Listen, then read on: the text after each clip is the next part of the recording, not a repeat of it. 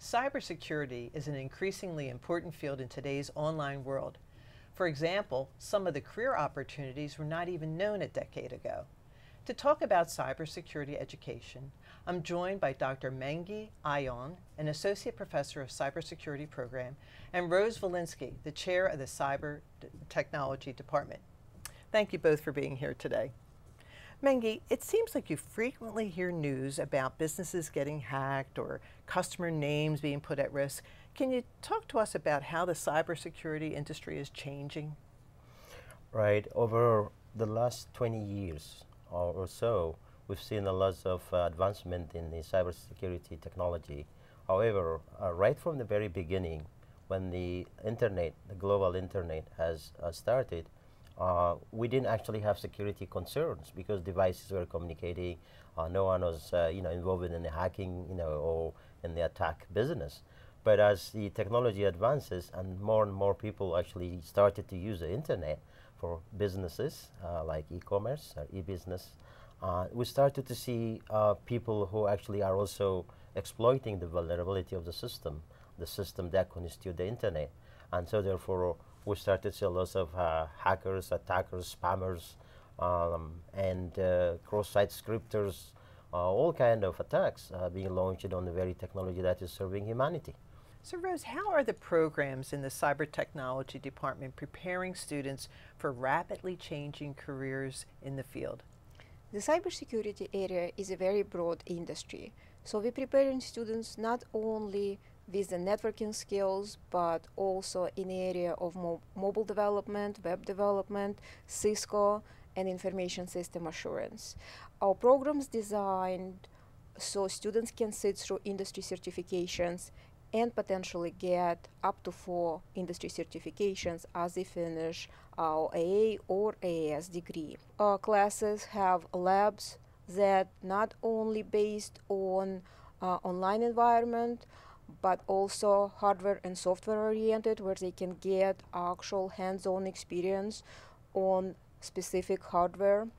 Uh, in addition to that, uh, we are arranging students to get internships and apprenticeships. Um, so students fully equipped once they finish our A degree or AS degree. Well, it sounds like the faculty are doing a good job of fully preparing students for careers in the field. Absolutely, and mostly we were um, excited about our open office hours where each faculty provides uh, sort of a tutoring section.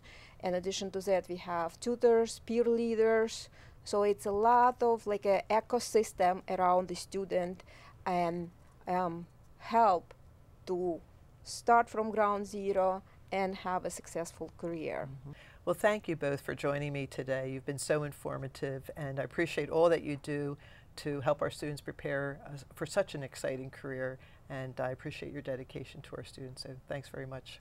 Thank you for having us. Thank you for having us. Thank you. A partnership with the Howard County Public School System is providing high school students the opportunity to get an advanced college start. The Early College Program lets high school students earn 30 college credits by the time they graduate from high school.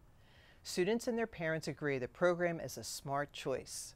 It can be daunting to start thinking about college when starting high school, but Noah Tashomi embraced the opportunity to join the Early College Cybersecurity Program that's kind of the field that my dad works in and I've always like looked up to what my dad does and I always thought it was something really cool and me personally I love just being able to like stop like the bad guys you know stop them defend what's good and kind of be like a good guy almost like a superhero behind a computer.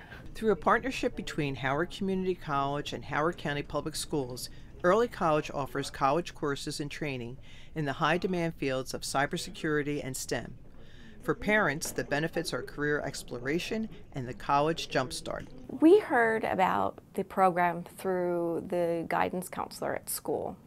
And it was at one of the back to school nights, and, and they presented it to the parents. And I was intrigued because of the cybersecurity, the network security, which I thought Trevor might be interested in. We truly believe, both me and my wife, that most high school seniors are not mature enough to be on their own. So this was a good opportunity uh, for us personally. but for him too, uh, you know, getting into a hot uh, technology sector as uh, cybersecurity was huge. For Noah, early college has been a transition, and he's had to learn to adapt to the college environment. College classes are just a lot more faster paced and a lot more independent. I mean, in high school, you, the teachers like they would try to make sure that everything goes well for you, but in college, that's your job. You have to make sure that you're there all the time, you're taking notes, you're paying attention, because if you don't, there's nobody else for you to do that and that's definitely different. Noah and his classmates have spent their high school senior year at Howard Community College full time. They agree the experience has been rewarding. I really liked the experience here. I wasn't really huge on high school. It wasn't really like my, my thing. And just, it's been great here because I've had a lot of support from faculty and a lot of support from all my classmates. And it's it really makes me feel like I'm just a part of like a community. Trevor and Noah's parents are pleased with the difference early college has made in the lives of their sons. He's more mature than I ever expected him to be at this age. Uh, he he's something about him, you know, that just makes you feel like he's he's got it together. They have given them the tools to be confident in studying, to be confident while still living at home, um, teaching them time management. Um, there's bumps in the roads, but they have a, a support system that they can lean on that really helps them build their confidence. And so I see him adjusting much easier as he goes to a four year school. As Trevor plans for life after high school, he feels that early college has prepared him for whatever comes next. I do have the early experience of college and it doesn't really it kind of hasn't really sunk in for me yet that I'm almost out of high school and I'm really going to the next step because with the way that everything's been set up here it just feels like just a regular day just a regular school day just going in taking my classes studying doing all my work. And it's really just it's really nice because I know since I have the experience now instead of just graduating high school and going straight to a four year I'm not going to be like pressured. I'm not going to have nervousness and I'm not going to really feel anywhere different. I'm just going to feel like I fit in. For more about the Early College Program, visit the college website.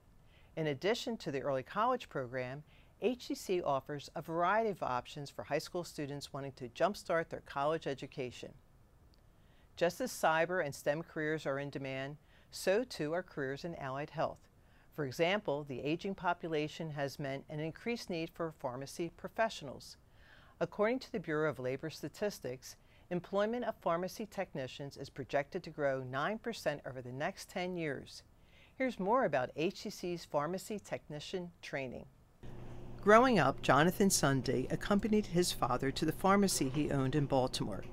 Assisting his dad piqued Sunday's interest in the profession.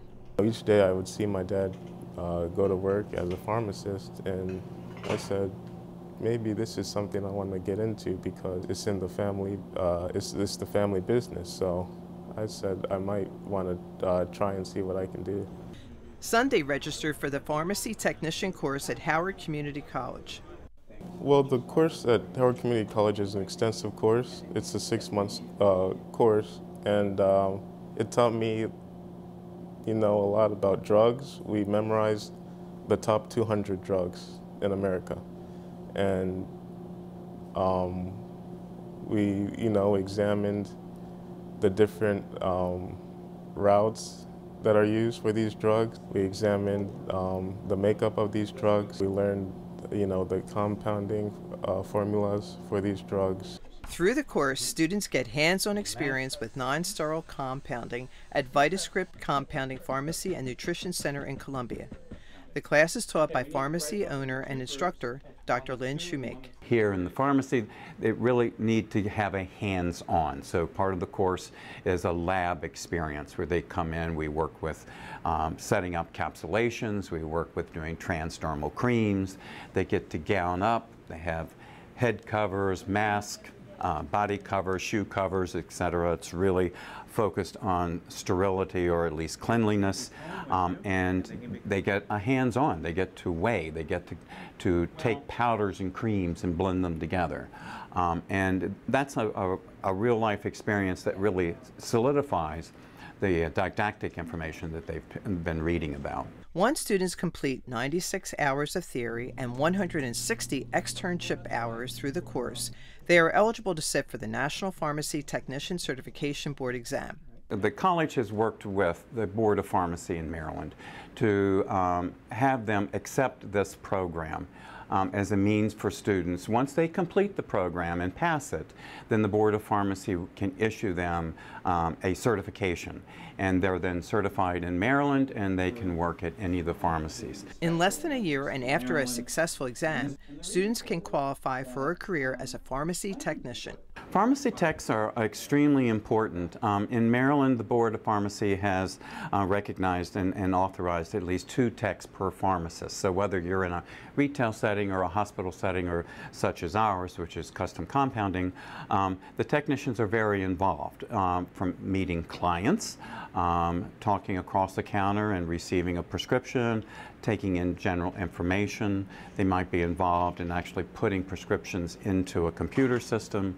Um, they might be doing filling processes. They'll pull drugs, count them out, set them aside for the pharmacist to check. Since earning his pharmacy technician certification, Jonathan has started a new job at a business close to his heart, his father's pharmacy. Visit the college website and search Pharmacy Technician to learn more about this class.